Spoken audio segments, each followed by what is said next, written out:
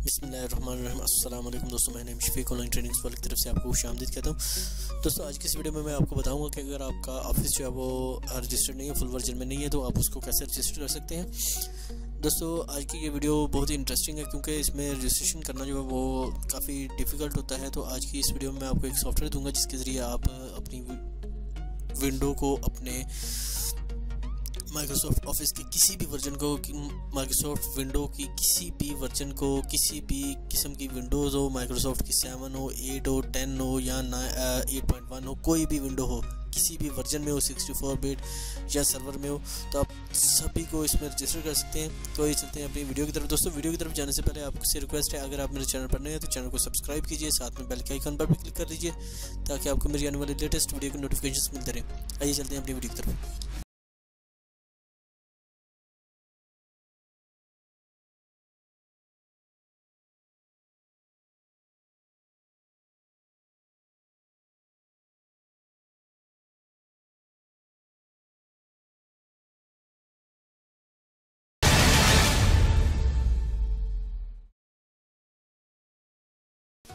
दोस्तों सबसे पहले मैं आपको बता दूँ कि ये आप मेरी वीडियो जो है ये मेरा सॉफ्टवेयर जो है वो आप मेरे लिंक से डाउनलोड कर सकते हैं। मैंने आपको, मैं दिखा देता हूँ।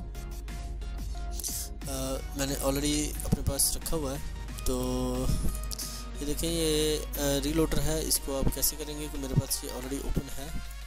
तो अब देखें, यहाँ पर कुछ भी नहीं आ रहा। उसकी रीज़न ये है कि इसमें ये बेसिकली सिस्टम जो है, मेरी विंडो का जो एंटीवायरस है, जो डिफेंडर वो इसको वायरस कंसिडर करता है। तो इसको सबसे पहले करना क्या है? सबसे पहले हमने विंडो के वायरस वाले एंटीवायरस वाले ऑप्शन में आना है। यहाँ पर आने के बाद firewall and network protection में आना है। उसके बाद main sorry virus threat protection उसके बाद हमने वायरस थ्रेड प्रोटेक्शन सेटिंग में आना है और इन सबको हमने ऑफ़ करना है। इन सबको ऑफ़ करना का करने का मकसद ये है कि ये हमारी जितनी भी हमारे जो भी फाइल्स हैं, जिनको सिस्टम जो है सिस्टम के डिफेंडर या विंडो का डिफेंडर जो है, वो जिनको वायरस समझता है तो ये उनके लिए है। तो हम इसको जैसे एक्सट्रैक्ट एज रीलोडर करते हैं, क्योंकि मैंने इस पर आने के बाद दोबारा से रीलोडर को ओपन किया। अभी देखें, यहाँ पर ये इसने वायरस शो नहीं किया, क्योंकि ये इसको क्रैक करेगा मीन्स कि ये इसको रजिस्टर करेगा तो इस तरीके का से आप इसको आसानी के साथ रजिस्टर कर सकते हैं। अगर आपका एंटी वायरस एक्टिव होगा तो उस पर क्या होगा कि उस पर ये होगा कि ये सिस्टम जो है इसको, जो डिफेंडर वो इसको एक्टिव नहीं होने देगा, और जब इसको एक्टिव नहीं होने देगा तो ये रन कैसे करेगा? दोस्तों, इसमें एक ख़ास चीज़ ये है कि जब भी आप विंडो इंस्टॉल करें इंस्टॉल करने के बाद आपने इसको इसमें माइक्रोसॉफ्ट नेट फ़िल्म वेयर जो है वो इसको अपडेट करना है, उसके बाद आपने इसको रन करना है। तो मैं इसको रन करता हूँ रन एज एडमिनिस्ट्रेट एडमिनिस्ट्रेटर तो मैं इसको रन पर क्लिक करता हूँ, इसको यस पे ऑप्शन देता हूँ, क्योंकि मैंने इसको इजाज़त दिया कि आप मेरी विंडोज़ में कुछ भी कर सकते हैं। तो देखें थोड़ा सा वेट करते हैं।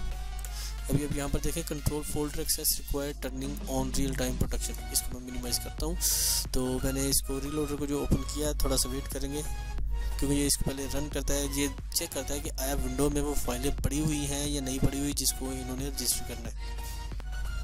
दोस्तों, यहाँ पर देखिए ये ओपन हो चुका है और इसने सबसे पहले क्या कहा? जी क्या E U L A reloader activator है और ये वर्जन जो है वो 3.0 बीटा वर्जन 3 है और रेडी है। मैं इसको एक्सेप्ट करता हूँ। अभी आप देखिए, यहाँ पर ये ऑप्शन दे रहा है, ये 15 जो है वो आप रजिस्टर करना चाहते हैं या विंडो मैं इसको विंडो को अनचेक करता हूँ विंडो ऑलरेडी मेरे रजिस्टर्ड है, मैं आपको चेक करवा देता हूँ। ये ना हो कि विंडो को भी ये दोबारा करते विंडो इज़ एक्टिवेटेड ये इसका सीरियल किया इसको सिक्योरिटी पर्पज़ के लिए मैंने इसको हिटन कर दिया है। तो उसके बाद मैं सिर्फ़ ऑफ़िस का करूँगा। ऑफ़िस को एक्टिव करने के लिए यहाँ पर आपने देख लेना कि माइक्रोसॉफ्ट ऑफ़िस का कोई भी प्रोडक्ट जो है वो एक्टिव ना हो। जब एक्टिव होगा तो वो इसको एक्टिवेट नहीं करेगा। वो कहेगा जी कि आपकी ये जो ऑप्शन है, ये जो डिवाइस है वो चल रही है या ये सॉफ्टवेयर जो है वो आपका एक्टिव है। तो मैं इसको, तमाम एप्लीकेशंस को मैं मुकम्मल तौर पे ऑफ़ करूँगा, उसके बाद मैं एक्टिवेट पे क्लिक करूँगा। Would you like to proceed with the activation yes तो मैं इस पर थोड़ा सा वेट करूँगा, क्योंकि वो activating Office 2013 pro plus 64 byte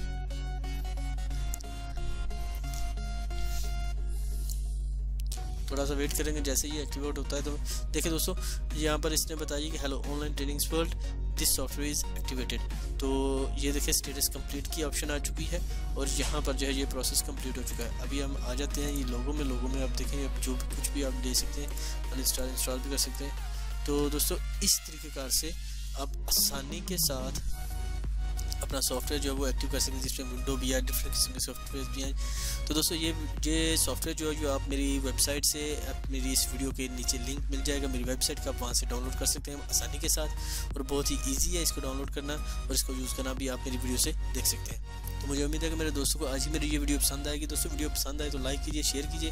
कोई बात हो, कोई सजेशन हो तो आप मुझे कमेंट सेक्शन में कमेंट कर सकते हैं। तो हम याद रखिए, अपना ख्याल रखिएगा। टेक केयर अल्लाह हाफिज़।